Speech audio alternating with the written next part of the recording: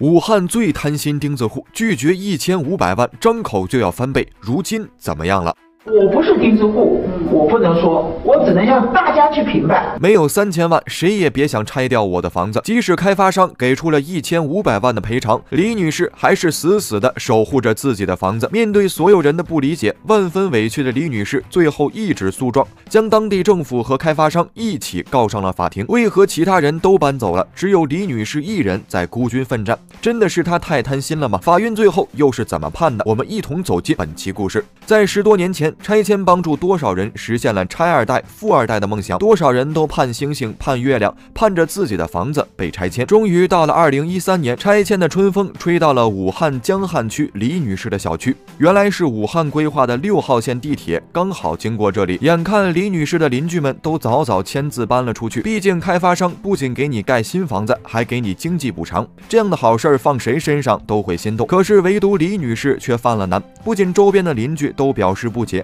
还有一些媒体都说李女士太贪心。甚至一度把李女士称为武汉最贪心的钉子户。那么事实真的如此吗？原来李女士的房子不一般。早在二零零一年时，眼光独到的李女士就斥资一百多万，在江汉区最繁华的街道，也就是武汉当时最繁华的商圈中心，买下了这间二百八十平米的临街商铺。李女士的行为在当时的邻居还有家人看来都是疯狂而不解。但是她知道一铺养三代的时代即将到来。果不其然，刚接手过来这间商铺，租房的商户就络绎不绝。最后，李女士还是决定和实力更加雄厚的建行选择合作。随着经济的快速发展，短短几年时间，建行每年支付给李女士的房租都涨到了六十多万，所以本钱早已收回。这时候，所有邻居还有家人又都开始纷纷夸赞李女士真有眼光，而她内心也兴奋不已。现在就算和丈夫天天不上班，每年都有六七十万的收入，而且房租肯定还会不断上涨，过不了多久，年入百万不是梦。李女士甚至给自己的未来都规划的明明白白，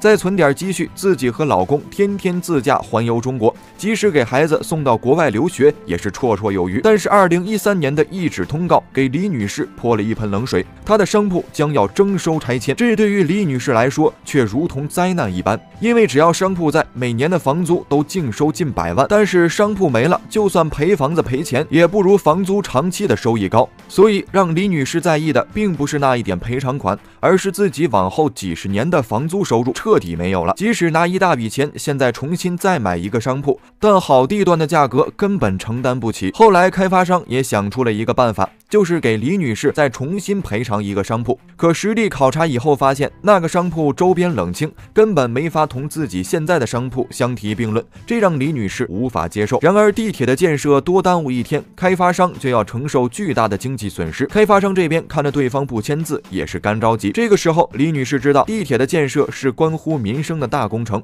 拆迁是大势所趋，即使自己再心痛，最终还是要拆的。所以调查了周边商铺的价格，平均下来都是。十万左右一平米，而自己的商铺是二百八十平米，位置还更好，仅地皮的价格就值两千八百万元。所以李女士觉得自己向开发商开出三千万的索赔价格一点都不高，毕竟自己还有一些房租损失。就在李女士觉得自己已经足够让步的报出索赔价格后，这边开发商却不乐意了。开发商这边通过自己的估值决定最多赔偿一千五百万元，多一分都不行，比自己三千万的预期还少了一半，这让李女士如。如何接受？索性坚决不同意拆迁，每天都守在自己的商铺里，哪怕周边所有的房子都拆完了。就这样，地铁的开发建设陷入了僵局。开发商面对如此坚决的李女士，也不愿意再多赔一分钱。他们也有自己的原则和底线，否则这次给李女士涨钱了，以后武汉市的拆迁恐怕会有更多的人效仿，到时候都成了钉子户，这拆迁工作还怎么做？城市还怎么发展？所以提高赔偿的头坚决不能开。况且开发商也有着自己的。评估准则和考量，在他们看来，李女士的商铺就算再火爆，她也只有四十年的产权，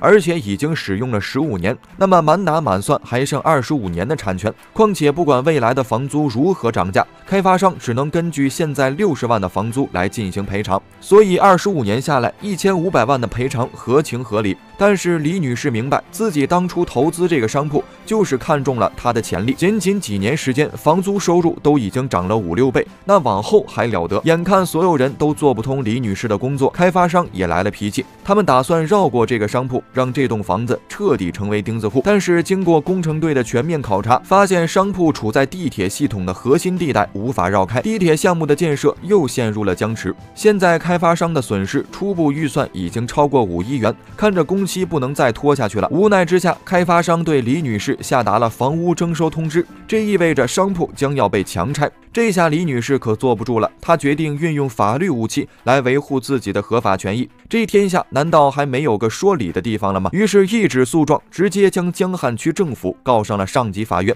但是，令她万万没想到的是，自己这一告不仅没要来三千万，还让自己的商铺彻底成为了历史。原来，在法庭上，虽然李女士拿出了各种证据，证明自己的三千万元赔偿款并不是漫天要价，而是有理有据，但是江汉区政府却向法院申请先执行李女士的房屋拆迁决定，意思就是先把商铺给拆了，然后再坐下来。好好商量双方赔偿的事儿。江汉区政府为了让上级法院放心，还直接拿出了两个亿作为押金担保，请求法院先执行强制决定。于是万万没想到，李女士这一告，法院反而最后决定先强拆。毕竟地铁耽搁一天，城市的发展就要落后一天，周边居民的生活就要遭罪一天。而且相信除了李女士，所有人都在盼着开发商快点点把地铁修好。终于在二零一五年三月十七日这一天，李女士眼睁睁地看着。自己的商铺被拆除，她欲哭无泪。但是她也知道，地铁六号线建成后将给所有武汉民众带来极大的便利，当然也包括她自己。可一千五百万的赔偿，她还是不能接受。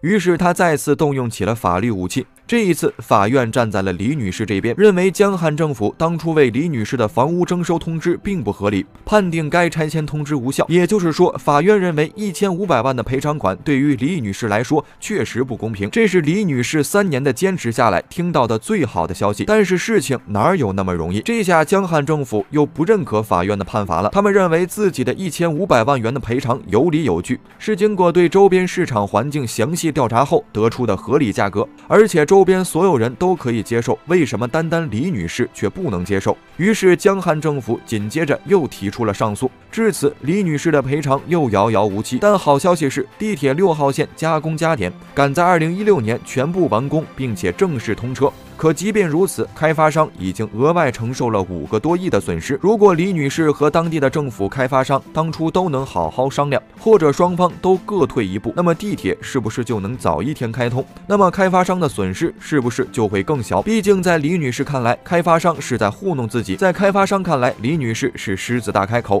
双方谁也不服谁。这样的情况下，也确实没有办法心平气和的坐下来谈判。我们也期待相关制度能够早日完善，不仅能让拆。迁工作顺利开展，还能够让民众得到自己满意的赔偿，大家对此怎么看呢？认为开发商与李女士孰对孰错呢？欢迎评论区留言讨论。